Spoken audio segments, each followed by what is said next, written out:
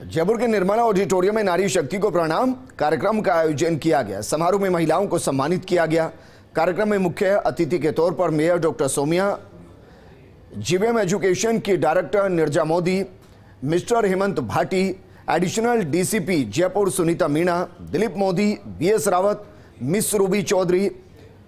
Sukhan Chaturvedi ने शिरकत की। ब्रिजभूमि फाउंडेशन के प्रेसिडेंट डॉक्टर निधि सिंह टाक ने बताया कि वो उन महिलाओं को सम्मानित करने जा रही हैं, जिन्होंने कोरोना के समय सोसाइटी के लिए अच्छा काम किया है।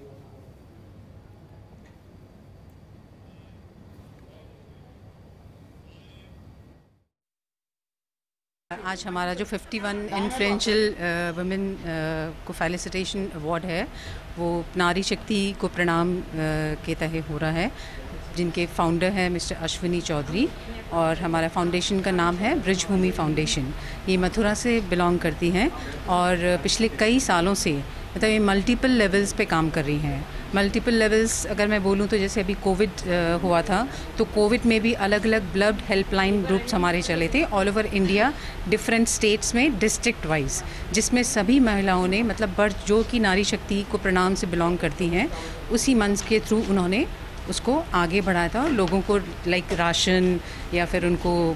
खाने पीने का जो भी चीज़ है, राशन का जो मैंने बोला, उसके अलावा ब्लड का एंड डॉक्टर्स का arrangement like each and everything they provided in a team manner तो एक पूरा टीम के साथ हमने ऑल ओवर नेशन